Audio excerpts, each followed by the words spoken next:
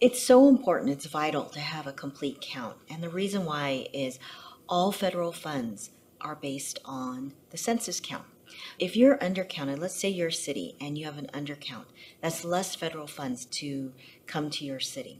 So money, federal funds are dependent upon the census, neighborhood planning, how much you get for your schools, how much you get for fire and um, police, uh, community safety. All of these things are really based on the census.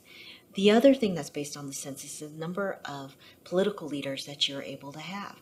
So if you have a complete count, you may be able to get another congressional member for your state. If you have an undercount, you can lose a congressional member, and that means you'll lose a voice in Washington, D.C. In addition, researchers utilize the census as a baseline of the number of people living in a community. And because of that, they're able to look at the outcomes of communities by using that data. Everything depends on the census.